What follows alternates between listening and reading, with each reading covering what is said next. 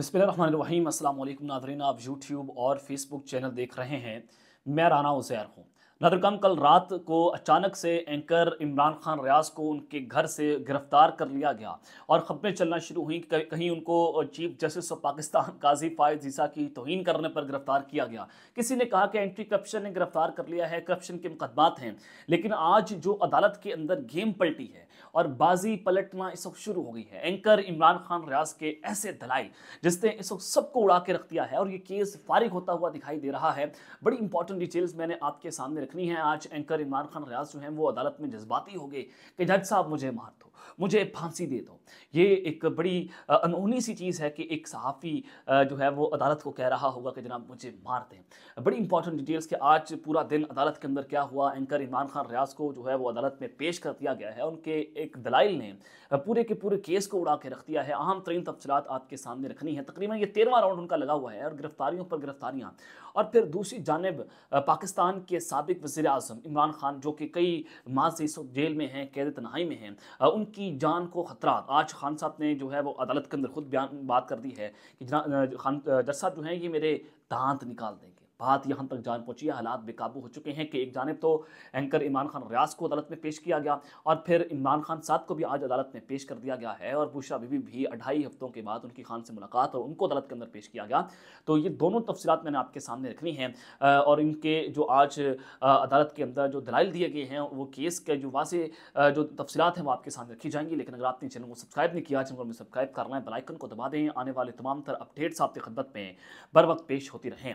नादुकाम सबसे पहले तो एक महारानी जिसने कौम का मैंडेट चोरी किया और उसको आज क्वीन बनाया जा रहा है और जिसकी सीवी में कुछ नहीं था। पहली बार जो है वो रुकने पंजाब असम्बली वो मंतखब हुई हैं। तो आज उन्होंने जनाब हल्फ कर ले लिया है और नून लीग ने वाज अक्सर आज जनाब जो है वो पंजाब असम्बली में वाजे कर दी है। तो इससे एक चीज़ तो बड़ी वाज है कि पंजाब में पाकिस्तान मुस्लिम नवाज़ हुकूमत बनाने जा रही है और मरीम नवाज़ जो है वो पंजाब की वजी अला होंगी।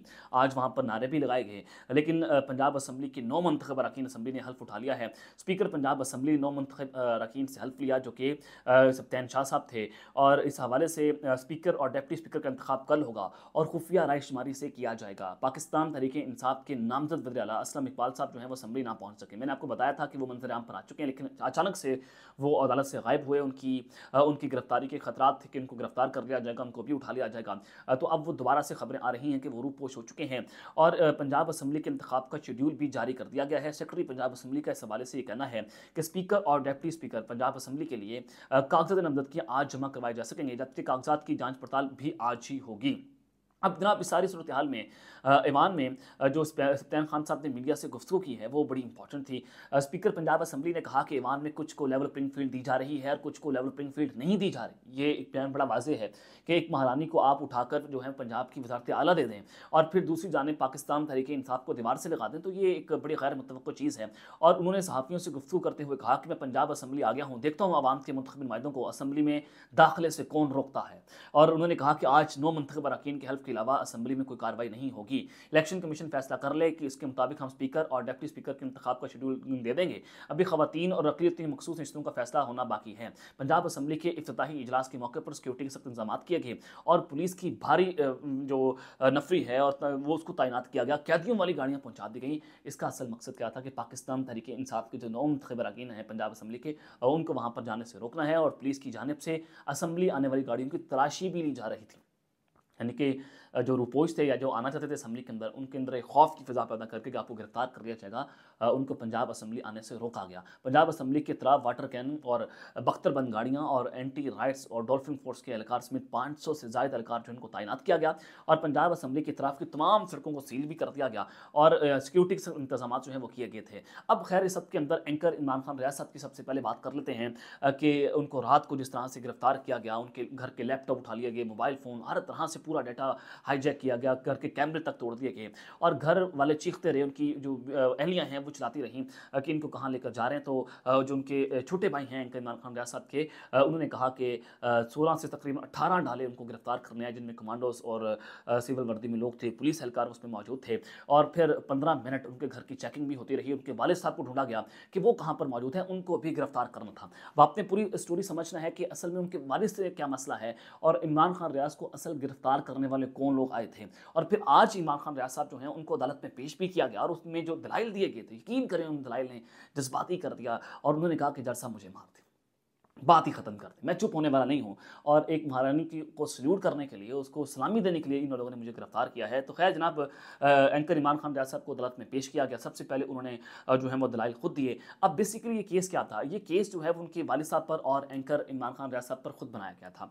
और ये केस करप्शन का केस था, जिसमें जो रावी झील है वहाँ पर उन पर इल्ज़ाम लगाए गए कि एंकर इमरान खान रियाज ने जो है वो गैर कानूनी ठेके लिए हैं। और ये जब ठेका लिया गया और उस पर कहा गया कि ये जो है उसमें करप्शन हुई है और बाकायदा तौर पर एंकर इमरान खान रियासत को इस ठेके के अंदर जो है वो पैसों की ऑफ़र की जाती रही, लेकिन उन्होंने ये करने से साफ़ साफ़ इनकार कर दिया। तो ये जो मीडिया से रिपोर्ट हुआ है, वो सब कुछ आपके सामने मैं रख भी देता हूँ। एंकर इमरान खान रियासत ने सबसे पहले अदालत में गुफ्तु की। उन्होंने कहा कि मैं अपना पेट से कपड़ा नहीं उठाऊँगा। मेरे साथ जो कुछ इन्होंने किया है, मैं कभी नहीं बताऊँगा। मैं अपनों के साथ, मैंने अपने को साथ, मेरा साथ किया, मैं क्या लड़ाई करूँ? और उन्होंने कहा कि, सर, आप ऊँची जगह बैठे हैं, सब देख रहे हैं, आपको भी नज़र आ रहा है। ये सरकारी अधिकार भी खामोश हैं, जानते हैं सच्चाई क्या है, ये मजबूर हैं। मैं जानता हूँ कि ये भी जानते हैं कि सच क्या है? यानी कि एक वो शख्स जो जिसको पाँच माह जिस तरह से रखा गया, वो वापस आया। उसकी जनाब बाजू ख़राब, उसके टखने ख़राब, उसकी जनाब बैक बोन ख़राब, वो बैठ नहीं सकता था, वो चल नहीं सकता था, उसकी ज़बान को ख़राब कर दिया गया, उसको मारा गया। जिस तरह से तशद हुआ, वो पूरी कौम ने देखा। वो एक ज़िंदा लाश के तौर पर जो है, वो सामने आया, लेकिन अल्लाह का शुक्र था कि वो बाजियाब होकर घर आ गया था।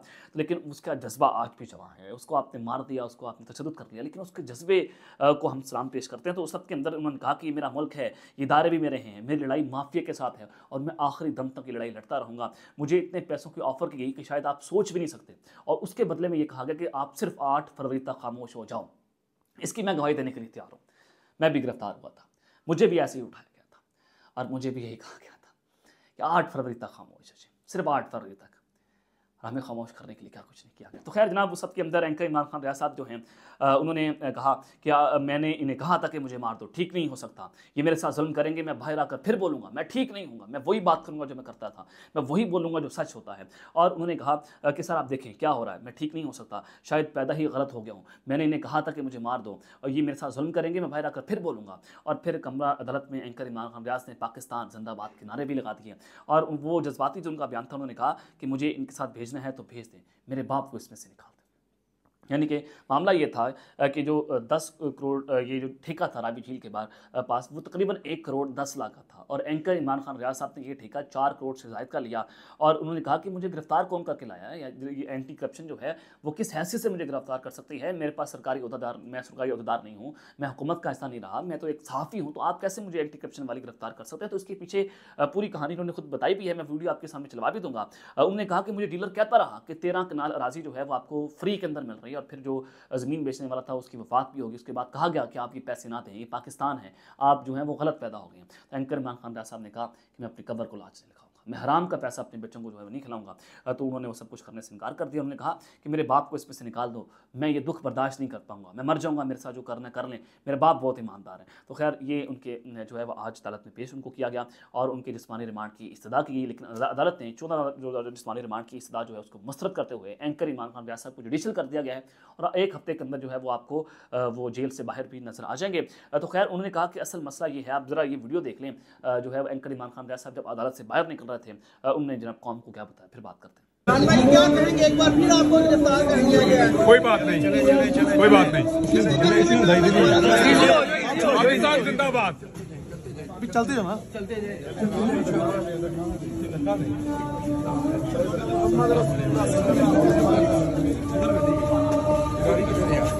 चलो। ओ सज्जे पास चलते जाओ। चलो चलो चलो।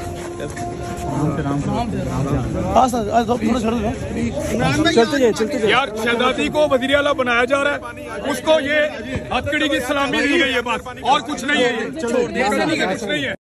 तो जी, आपने जो है वो ये वीडियो देख ली, उन्होंने कहा कि असल में मसला ये है कि जिस कोइन को ये बजडला लगाने जा रहे हैं, उसको सलामी दी गई है कि देखें, इसको हथकड़ी लगाकर हमने आपके दुश्मन को जो है वो जेल के अंदर डाल दिया है। तो इस वजह से मुझे गिरफ़्तार किया गया और मुझे बार बार ये लोग एक ही मुतालबा कर रहे हैं। मुझे गिरफ़्तार किया गया, एक ही मुतालबा किया जा रहा है कि खामोश हो जाओ, लेकिन मैं खामोश नहीं हो पा रहा और ना मैं खामोश होऊँगा। तो खैर जनाब, उन्होंने कहा कि मैं सरेंडर भी नहीं करूँगा। सरेंडर करने से उन्होंने इनकार कर दिया है। तो एंकर इमरान खान रियाज साहब एक तारीख ख़त्म कर रहे हैं पाकिस्तान में और फिर दूसरी जानब सबक वजी अजम इमरान खान साहब आज वो भी अदालत में आए। और अडाला जेल में ही अदालत लगाई जाती है। और उन्होंने जो इंकशाफात किए हैं, वो भी बड़े हैरान कन हैं कि उनकी जान को ख़तरा है। पाकिस्तान तहक इंसाफ के बानी चेयरमैन इमरान खान साहब ने सहाफ़ियों से कमरा अदालत में गैर रस्मी गुफ्तु की। उन्होंने कहा कि आई एम एफ़ को ख़त लिख दिया है, आज ख़त चला जाएगा। इमरान खान ने कहा कि ख़त इसलिए लिखा गया है कि अगर ऐसे हालात में मुल्क को कर्जा मिला तो वापस कौन करेगा? इस कर्ज से गुरबत बढ़ेगी। जब तक सरमाकारी ना ना आएगी तो कर्ज बढ़ता जाएगा। सबसे पहले मुल्क में सियासी इस्तेकाम लाया जाए और नवाज़ शरीफ के लिए मुझे ज़ीरो किया गया। फिर इंतबात में धांधली करवाई गई। पहले नवाज़ शरीफ सिलेक्शन के लिए इदारों को तबाह किया गया और अब कमीशन रावलपिंडी के इनकशाफात भी सामने आ चुके हैं। ये जनाब इमरान खान साहब ने अदालत के अंदर बात की। और जो सबसे इंपॉर्टेंट बात थी जो उन्होंने कहा कि मैंने डेंटिस्ट को चेक करवाना है। जज साहब, उन्होंने मुकालमा किया कि मैंने दांतों का चेकअप करवाना है और जज जज साहब ने कहा कि जेल में डॉक्टर्स मौजूद हैं, आप चेक करवा लें। इमरान खान साहब ने कहा कि सात महीने हो गए हैं, एक बार भी डॉक्टर के पास नहीं गया। जेल का डॉक्टर मेरे दांत ही ना निकाल दे। सत्तर साल की उम्र में दांतों का मैंने चेकअप करवाना उन्होंने कहा कि जनाब, ये मेरे दांत निकाल सकते हैं। बात यहाँ तक जा पहुँची। हालात इतने बेकाबू हो चुके हैं, हालात इतने ख़राब हो चुके हैं कि मुल्क के सबक वजी अजम को डियाला जेल में जो है बंद किया गया और वही बात कर रहा है कि जनाब कि मेरे दांत निकाल देंगे, यानी कि कुछ ना कुछ तो हालात गड़बड़ हैं। बात तो ये हो रही थी कि इमरान खान साहब और इस्टेबलिशमेंट के दरमियान जो मामला हैं, वो पिघलना शुरू हो गए हैं। बर्फ़ पिघल रही है, हालात में सही हो जाएँगे, खान साहब वापस आ रहे हैं। लेकिन ये अचानक से जो माहौल अनसर्टनिटी की जाने पड़ रहा है, अचानक से माहौल ख़राब हो चुका है कि नौ मई की मुकदमा दोबारा खुलना शुरू हो गए हैं। खान साहब को उसमें सजा देने के लिए जो है वो तैयारियाँ हो रही हैं। दोबारा से गिरफ्तारियाँ क्रैक डाउन सहाफ़ियों को कहा जा रहा है कि आपको गिरफ़्तार कर लेंगे तो अब ये सूरत हाल मजीद ख़राब हो जाएगी। और अगर एक औरत जो बुक्स के अंदर भरी या कीने के अंदर भरी है हसरत के अंदर भरी, वो औरत जब कोई जो है उसको आप विजराला लगा रहे हैं तो आप अंदाज़ा लगा लें कि वो आते ही सबसे पहले सहाफ़ियों के ऊपर अंदा फेरेगी, मुँह के ऊपर जो है वो टेपे लगाने की कोशिश होंगी, मीडिया को हाईजेक किया जाएगा, लेकिन वही बात करते जाएँगे जो हमने करनी है। हक और सच का साथ नहीं छोड़ेंगे। हाँ मुल्क भी मेरा, फौज भी मेरी, इधारे भी मेरे, हम इनके खिलाफ नहीं जा सकते। लेकिन बात वो करनी है, माफिया के खिलाफ हम जंग लड़नी है। और इसी माफिया के खिलाफ हमने जंग लड़ते लड़ते मर जाएँगे, लेकिन हम सरेंडर नहीं करेंगे। ये बात तो तय है कि हम ये जो मरियम नवाज़ जैसे जो चूहे यहाँ पर हमारे ऊपर मुसलत होने की कोशिश करते हैं, हम इनके सामने सरेंडर नहीं करेंगे। तो खैर जनाब, उन्होंने कहा कि दरख्वास्त दे दें, इस पर मुनासिब हुक्म सुना सकते हैं। ये जनाब उनके जो अहताब अदालत के जज हैं राजा, नासिर जावेद राना साहब, उन्होंने कहा। और फिर इमरान खान साहब जो हैं, उनके केस की समात के दौरान अपनी अहलिया बुशरा बीबी से भी मुलाकात हुई और ये मुलाकात जो है वो तकरीबन अढ़ाई हफ्तों के बाद हुई थी। तो ये इस वक्त सूरत हाल है कि पाकिस्तान जो है वो एक बार फिर से आप उसको, क्या उसकी जानब लेकर जा रहे हैं। बजाय इसके कि इलेक्शंस हो गए हैं, आप मुल्क में जो है वो कुराम बर्पा करने के बजाय इकनॉमिक स्टेबिलिटी लाएँ, पोलिटिकल स्टेबिलिटी लाएँ, ये जनाब एक बार फिर से आवाज़ बंद करने जा रहे हैं। अब तक के लिए अपना ख्याल रखिएगा। और इस जगह रस्मी ख्याल खिलाने के बाद पाकिस्तान, जिंदाबाद।